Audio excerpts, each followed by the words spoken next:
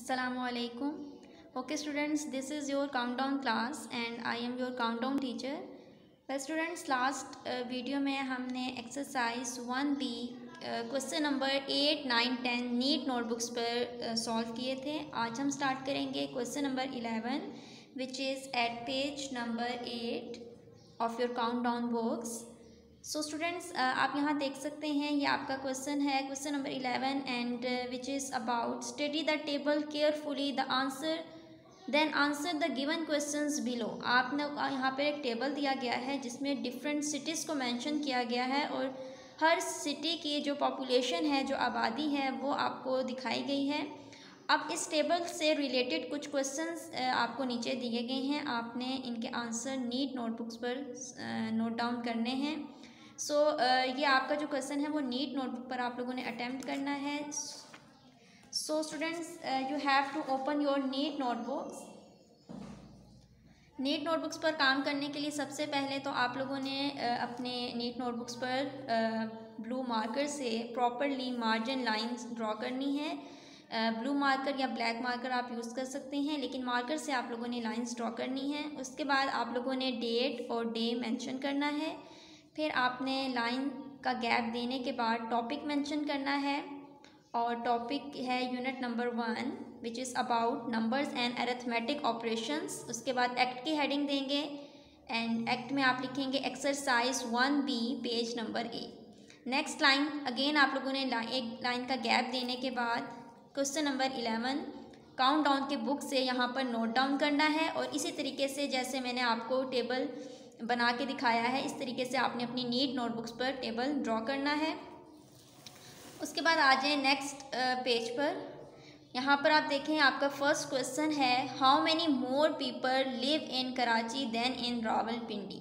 ठीक है, अब वो ये कह रहे हैं कि आपने ये बताना है, इतना आप टेबल से देखकर बता सकते हैं कि आपने दो सिटीज़ को कंपेयर करना है which is Karachi and Rawalpindi ठीक है? वो कह रहे हैं कराची और रावलपिंडी की अगर आप पॉपुलेशन देखें तो आप देख कर ही बता सकते हैं कि कराची में पॉपुलेशन ज़्यादा है एज़ कंपेयर टू रावलपिंडी लेकिन आपका क्वेश्चन ये है, आपने ये बताना है कि कराची में कितने ज़्यादा लोग रहते हैं एज़ कंपेयर टू रावलपिंडी इतना तो पता है कि कराची में पॉपुलेशन ज़्यादा है, लेकिन कितनी ज़्यादा है, ये आपने बतानी है। सो so, इसको सॉल्व करने के लिए आप क्या लिखेंगे आंसर में? पीपल इन कराची वो मेंशन करना है आपने। अगेन नेक्स्ट लाइन पे आप लिखेंगे पीपल इन रावलपिंडी रावलपिंडी की पॉपुलेशन आपने मेंशन करनी है। Students keep it in mind कि आपने गैप का ख़ास ख्याल रखना है क्योंकि हम इस यूनिट में इंटरनेशनल सिस्टम को डिस्कस कर रहे हैं। तो आपने डिजिट्स को प्रॉपरली अरेंज करना है सीक्वेंस से लिखना है ठीक है ना? जब आपने इन डिजिट्स को अरेंज कर लिया। उसके बाद आप क्या करेंगे? इसमें इन दोनों नंबर्स को सब्ट्रैक्ट करेंगे। सब्ट्रैक्शन के बाद जो आंसर आएगा इट मीन्स के इतने मज़ीद लोग जो हैं, वो कराची में प्रेजेंट हैं एज़ कंपेयर टू रावलपिंडी। उसके बाद नेक्स्ट क्वेश्चन पे आ जाएँ। तो नेक्स्ट क्वेश्चन है आपका after Faisalabad which city has the most number of people how many people all together live in this city and Faisalabad? अब वो ये कह रहे हैं कि फैसलाबाद के बाद कौन से शहर में ज़्यादा लोग रहते हैं? फैस, अब आप अगेन टेबल को देखेंगे। तो आपने बताना है कि फैसलाबाद के बाद ये आप, फैसलाबाद है, इसमें देख लें कितने पॉपुलेशन है आपकी।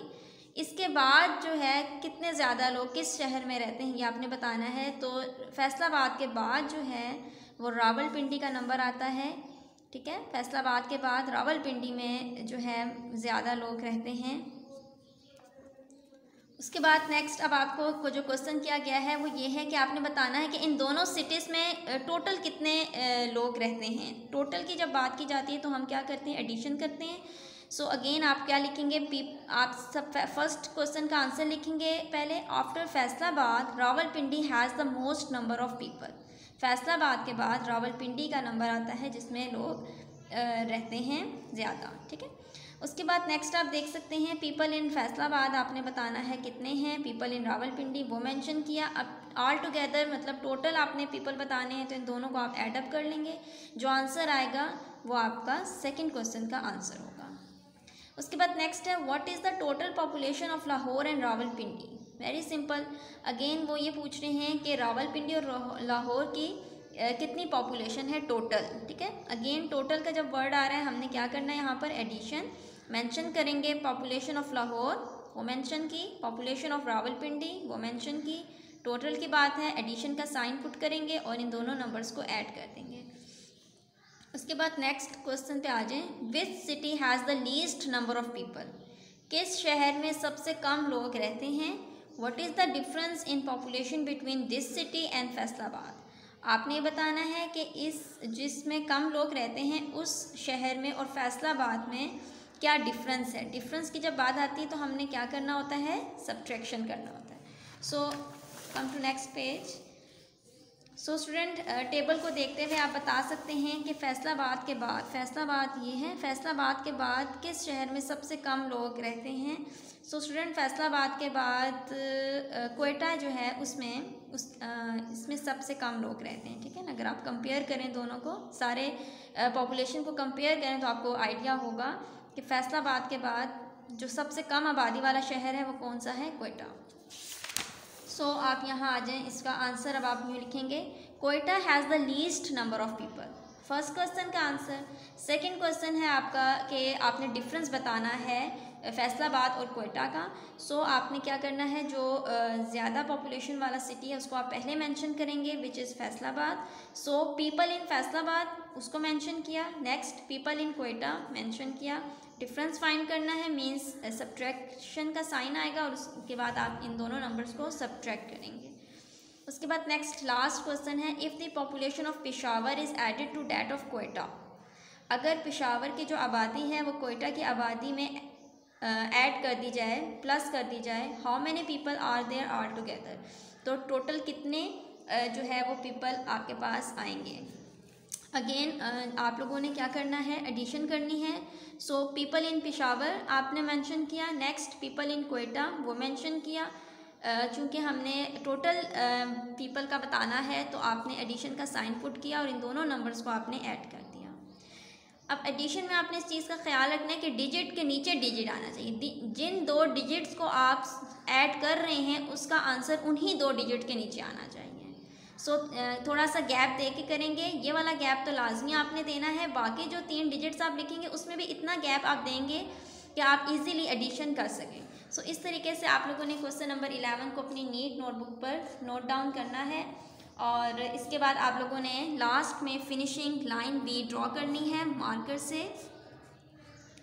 और ये बात मैं आपको पहले भी बता चुकी हूँ कि जो हेडिंग्स हैं और जो क्वेश्चंस हैं वो आप लोगों ने ब्लू या ब्लैक मार्कर से करना है और जो सोल्यूशन है जो आंसर है वो आपने ब्लू पेन से करना है। नीट एंड क्लीन नोटबुक्स पर आप लोगों का काम होना चाहिए।